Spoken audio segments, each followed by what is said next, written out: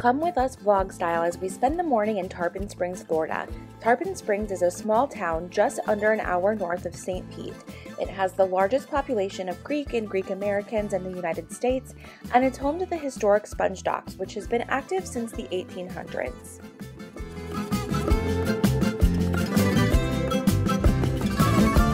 We just got the last spot in the very first parking spot that you'll see when you come to Tarpon Springs we did not know that there is a craft show here today. So um, it's really busier than usual and a little bit harder to get a spot than usual. We usually do not have a hard time finding parking, but this lot is completely full today. This is the start of the downtown area, if you can see like down there. So got pretty lucky. You can see here the reason parking was tough to find. They closed down the streets of the historic downtown area for the art fair.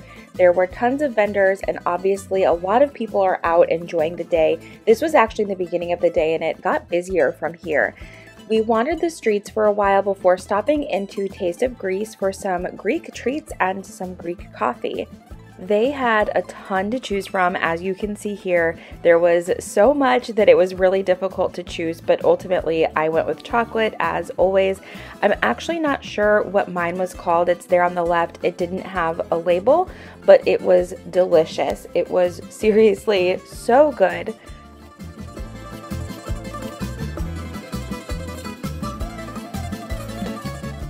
And while we have a clip of me trying it, I can't play that clip with sound because the background music in the restaurant was so loud that I know I would get a copyright strike from YouTube, which I'm trying to avoid. Um, but it was really good, like I said. You'll just have to enjoy it without me telling you in real time how good it was. We are in Tarpon Springs this morning. If you don't know, it's a really, well, not really small, it's a smaller town located just north of St. Pete, about 30 to 40 minutes, depending on where you're at. Um, and it's adorable. There is a lot of Greek influence here, a lot of Greek culture. Right now, we are we just finished up our breakfast at Taste of Greece. Um, I have some Greek coffee here. I've never tried Greek coffee before, but Mitchell has tried his already. He doesn't think I'm gonna like it. It's pretty strong, so so they said that it's made with like grounds in it, so you want to let it sit so that the grounds go to the bottom. So if you're going to try to drink coffee, know that. Um, it sounds like you're stalling. Is kind of what it sounds like. I'm nervous. Okay. All right, here we go. I wonder if it's still hot. Nah, it's not. You better just try it. It smells really good. It does smell good, yeah.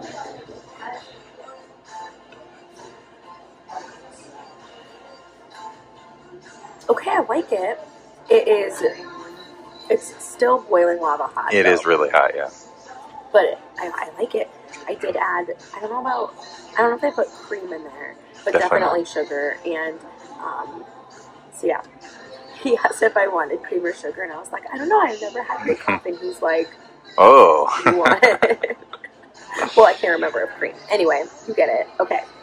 We spent the rest of the morning really wandering the streets, going into the various shops, as well as enjoying the market. Overall, this is just a really quaint and amazing town to just wander.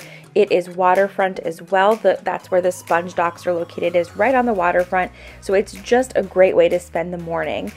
Also, just spending one morning in Tarpon Springs doesn't give me an opportunity to show you everything that Tarpon Springs has to offer, so I would actually love to go back again and do a more educational video rather than vlog style like I'm doing today, so that I can cover more of what there is to do. So let me know in the comments if that's something that you'd be interested in and if you have anything specific that you'd like to see or any questions about Tarpon Springs that I can answer for you in that video.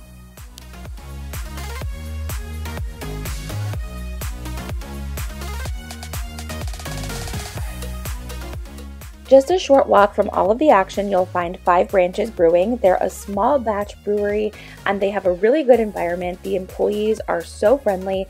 In their Google reviews, that is mentioned over and over again, and it's true, they were amazing. They also have live music on the weekend. It is about a block off of the main road, and that block is such a cute area to wander. It's truly adorable and I can't wait to go back. We will definitely visit this area of Tarpon Springs again. It was a new area for us as well as this brewery. We just finished up downtown. It was great to wander the market, all of the stores. It was amazing. We planned to eat lunch at Rusty Bellies, but it was just packed. Like there was a huge group of people waiting outside to get in. So I don't know what we're do for lunch yet, but we stopped to take a break. Um, we are at Five Branches Brewing, and this beer is great.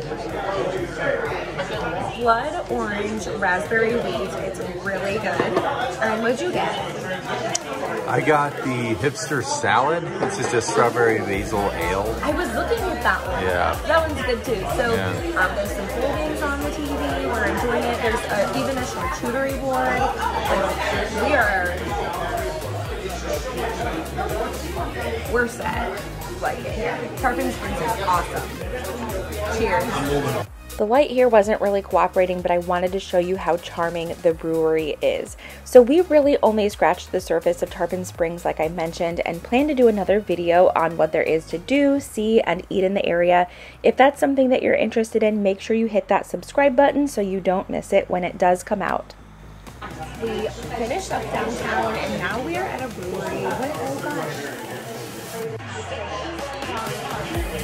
Finished wandering downtown. It was great and needed a little refresher.